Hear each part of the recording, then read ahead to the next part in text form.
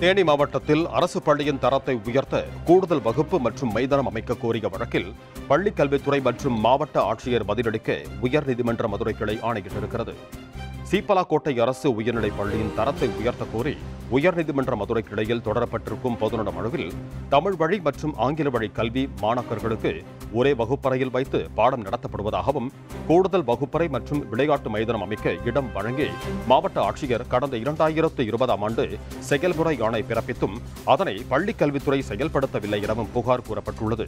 மேலும் பள்ளி கல்வித்துறை காலம் தாழ்த்துவதால் மாணவர்களின் படிப்பு பாதிக்கப்பட்டிருக்கும் நிலையில் தற்போது மாணவர்களின் எண்ணிக்கை குறைந்திருப்பதாகவும் அரசு பள்ளியின் தரத்தை உயர்த்தும் வகையில் பள்ளிக்கு வழங்கப்பட்டுள்ள இடத்தை பயன்படுத்தி கூடுதல் வகுப்பறை மற்றும் விளையாட்டு மைதானம் அமைக்க அரசுக்கு ஆணையிடவும் மனுவில் கோரிக்கை வைக்கப்பட்டுள்ளது. இந்த நிலையில் வழக்கு நீதிபதிகள் எஸ். எஸ். சுந்தர் பரத சக்கரவர்த்தி அமர்வில் விசாரணைக்கு வந்தபோது பள்ளிக் கல்வித்துறை மற்றும் தேனி மாவட்ட ஆட்சியர் பதிலளிக்க ஆணையிட்டு விசாரணையை இரண்டு வாரங்களுக்கு தள்ளி வைத்து நீதிபதிகள் ஆணையிட்டனர். galera.